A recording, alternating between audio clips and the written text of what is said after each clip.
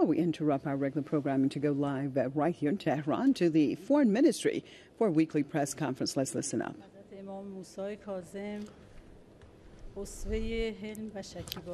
was the epitome of patience, so I would like to offer congratulations to the audience. At the same time,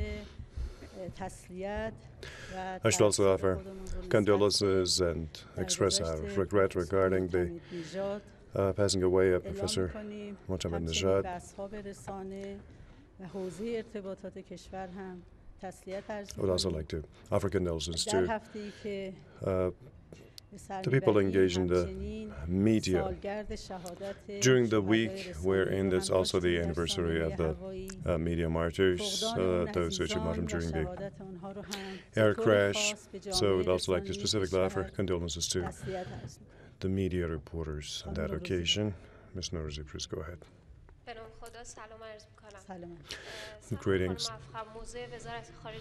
Uh, the Foreign Minister's stance regarding the recent comments of Wendy Sherman uh, regarding the sanctions and also the comments of the U.S. President regarding Iran enrichment. If you could uh, let us know about the Foreign Minister's stance. And also, the foreign and Western media have announced that 90% of the new sanctions law against Iran uh, have been uh, have gone uh, through the U.S. Congress in terms of finalization, what will happen to the Geneva deal? Well, you just asked three questions in the form of two. now, I don't know which part of the U.S. Uh, Deputy Secretary of State you mean, but specifically regarding sanctions, the stances of the Islamic Republic of Iran when it comes to various aspects and the subject of sanctions.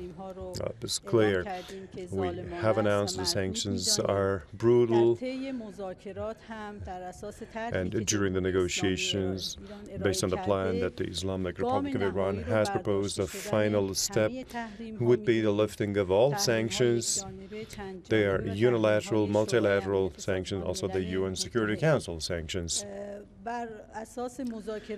So, on the basis of the talks conducted and the, the, the resulting uh, step that would take joint steps, we think that there is a crack in the sanctions and it's going to fall apart. But when they announce uh, percentages for that, it, this is kind of, you know, attempts to create this atmosphere, this psychological air uh, around various issues. So we're hopeful that uh, uh, for the final step to be taken, the issue of sanctions could be totally dealt with. To that end, the negotiating team of the Islamic Republic of Iran is fully determined to see the final step to be taken based on the removal of all the sanctions and to have a peaceful nuclear energy program considering enrichment and the objectives uh,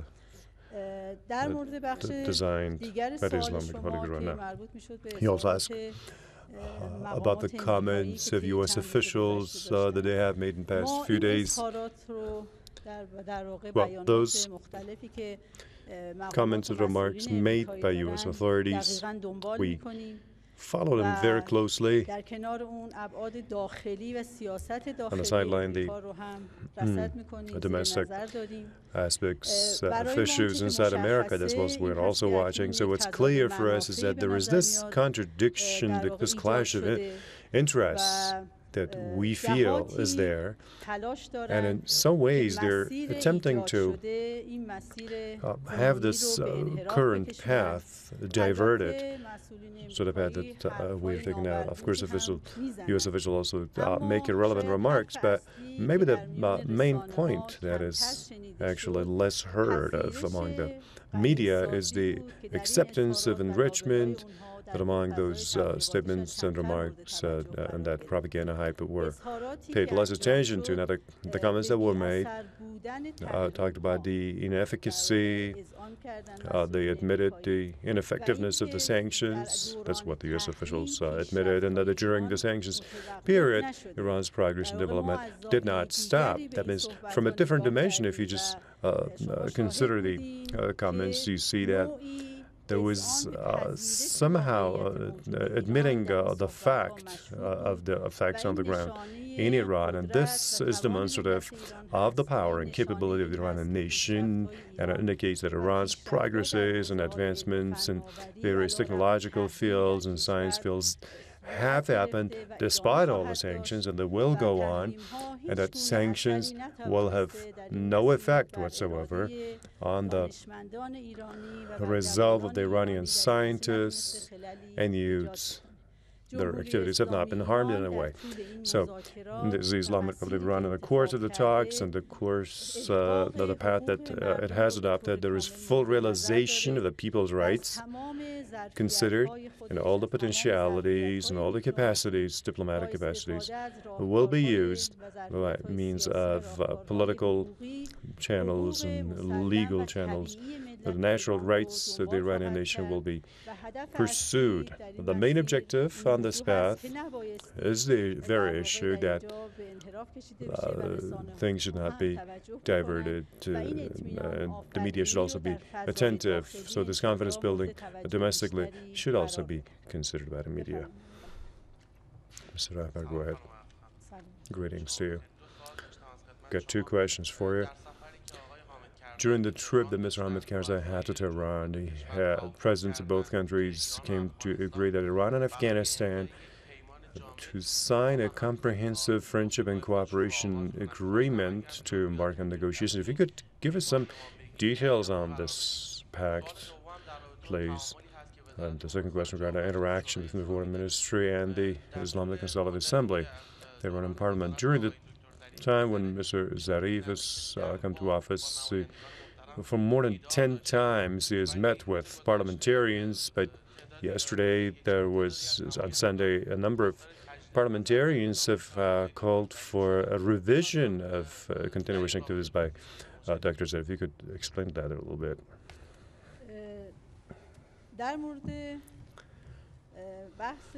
Now, as for interaction with the Islamic Consultative Assembly, Parliament, the Iranian Foreign Ministry, as uh, part of the an organization within the government, does believe in this uh, constructive interaction so this is our understanding, and we are determined to have uh, constructive interaction with world countries. We need, in the first place, to have constructive cooperation and interaction domestically. So I think uh, you said 10 times there was, uh, if you also include today, it should be uh, 10 times that the foreign minister has met with MPs. So this is assessed line with respecting for the rights of the parliamentarians and the assessments that they have had regarding, uh, we have had regarding the function of the foreign ministry. We think that this contract, this interaction should be there, uh, clear cut policies should be there, and the questions should be answered. That's what we take heed of. Regarding the future of cooperation and continuation of this process, we are optimistic and we are determined to say, to try to take steps uh, to remove any kind of misunderstanding uh, uh as long as uh, it's related to uh, the working with the parliament. And we believe that through negotiations uh, uh, away from uh, controversies and disputes and in an expert atmosphere, a specialized atmosphere, there will be possibility of greater cooperation interaction in a more positive way. So, uh, Dr. Zarif will also be uh, taking part in Parliament's uh, foreign policy Commission for and National Security Policy, and he will be replying to the MP's questions. So hopefully, this process of interaction and talks will be further going on in a more constructive way. You also uh, asked about the issue of Afghanistan and the mm, uh, fraternity and friendship pact uh, that, uh, that has been discussed. The presidents of the Islamic republics of Iran and Afghanistan, in a meeting that they had during Mr. Hamid Karzai's uh, visit, they came to an understanding to have this comprehensive friendship pact uh, concluded by the two nations, on the basis of which, uh, and also uh, because of uh, the determination of both presidents, the foreign ministers of both countries, are supposed to uh, do the expert work uh, for the preparation of uh, the context of this cultural, social, and uh, political uh, understanding. Hopefully, this comprehensive friendship pact uh, would work for long term cooperation and comprehensive and all sided cooperation to be put in place between the two uh, brotherly neighborhood nations of Iran and Afghanistan to be able to cement and further boost uh, the two countries' relations and set the stage for further deepening of uh, cooperation. Well, we just started this, and uh, God willing, it will be put into operation in due time. Well, Shimon Peres has recently announced that uh, he's prepared to meet with uh, Mr. Rouhani and that Iran is not an enemy of that regime. What's Iran's stance regarding uh, the, such comments by Zionists? Is this change in tone is because of the isolation of the Zionist regime after the, uh, the nuclear pact with Iran? Also, Mr. Obama has uh, talked to the Saban. Mm, uh, that Israeli forum, in, in which he said something about uh, the fact that secret talks between Tehran and Washington are ongoing between Tehran and Washington. Do you approve of this or not? Now, as for Mr. Uh, Obama's comments, we've already announced that no kind of secret negotiations are going on between the Islamic Republic of Iran and the United States of America. All uh, what's been uh, uh, uh dealt with in the talks happened within the, the nuclear negotiations with P5 plus one. So this is quite a clear cut stance. Now, as for the other question, uh, there has been no change in the stances of the Islamic Republic of Iran and the viewpoint of the establishment regarding the Zionist regime and that will not change. The Islamic Republic of Iran does not recognize the Zionist regime. Our stances uh, toward that regime, we, we look at, at them as an hegemonic an occupier regime that's also a fabricated uh, regime whose existence is based on fabrication and usurpation of Palestinian territories. So our stances are quite clear. We do not accord recognition to that regime.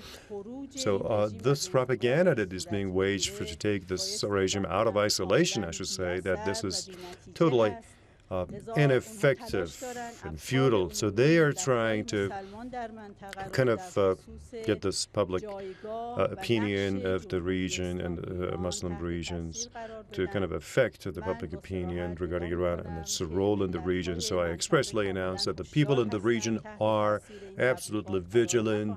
They know what what's happening and they won't be affected by this propaganda. So that this adoption of this uh, rhetoric and language that they, they have just adopted recently is ineffective. They want to get out of isolation. And we recommend that the world people still keep vigilant and watch carefully the moves made by the, by the Zionist regime and not be affected by uh, these deceptive slogans that they are raising recently. Well, greetings. First, I want to ask about the details of Mr. Lavrov's visit to Tehran, what, what, uh, which officials is he going to meet. And also, yeah, yes, last night Mr. Ahmadinejad uh, made certain comments and said that uh, there should be a time for the Geneva Agreement implementation. But, when the inspectors of the IAEA came to Iran, as it was said by the, the National Security Council members, they said that the Geneva meeting has been put into operation. Actually, its implementation has already started. I just wanted you to elaborate on that. And then the IAEA is going to supervise Iran's commitments. Is there also going to be an organization to oversee the obligations and commitments by the Westerners regarding the Geneva Agreement? Well, the foreign